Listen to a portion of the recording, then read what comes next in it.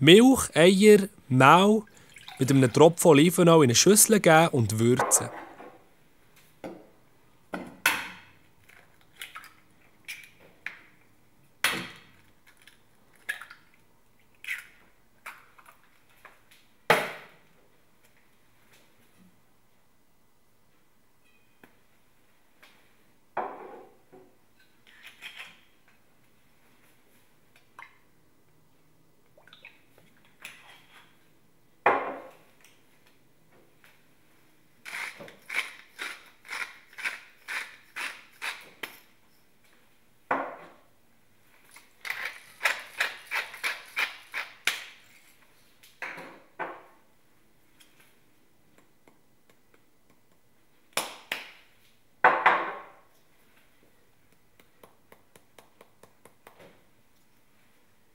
Dann mit dem Schwingbesen rühren, bis eine feine Masse entsteht.